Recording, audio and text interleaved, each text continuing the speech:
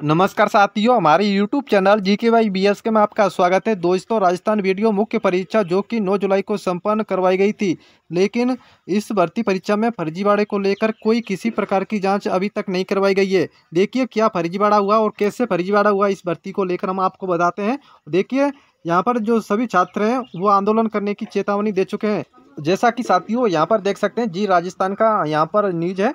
तो यहाँ पर छात्रों ने लगाए वीडियो बैन परीक्षा में धांधली के आरोप।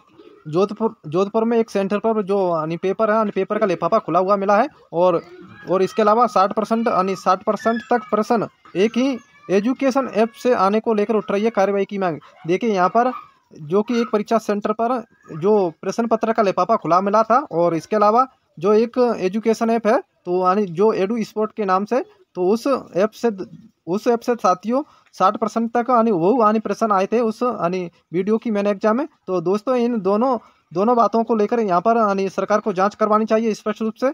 और यहाँ पर जो दोषी हैं, उनके खिलाफ कार्रवाई, कठोर से कठोर कार्रवाई की जानी चाहिए। और देख सकते हैं साथियों, अगर इस पर कार्रवाई नहीं होगी तो दोस्तों, छात्रों के मन में एक ही सवाल रहेगा कि इस भर्ती में फर्जीवाड़ा हुआ है। अगर नहीं हुआ है तो इसकी कार्रवाई करवाइए और इसकी जाँच करवाइए सी जाँच दीजिए। और देखिए, जो छात्र इसमें आंदोलन करने की सोच रहे हैं तो दोस्तों, वे सोच सकते हैं और एकजुट हो जाइए कि इस भर्ती में, इस भर्ती के लिए जो फर्जीवाड़ा किया गया, उसकी जाँच के लिए दोस्तों यहाँ पर छात्र आंदोलन करेंगे। और दोस्तों, बिल्कुल सही बात है कि उनको आंदोलन करना चाहिए।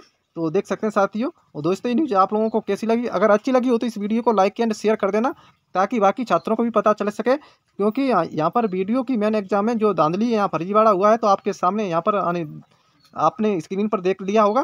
तो चलते चलते हैं दोस्तों मिलते हैं अगली वीडियो में इसी के साथ।